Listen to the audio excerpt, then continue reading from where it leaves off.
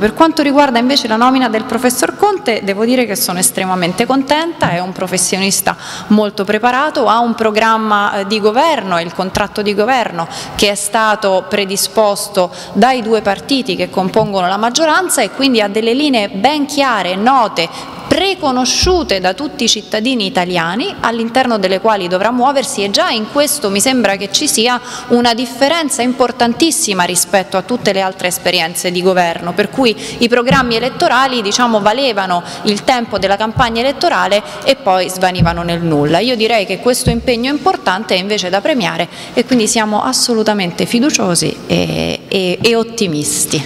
Grazie.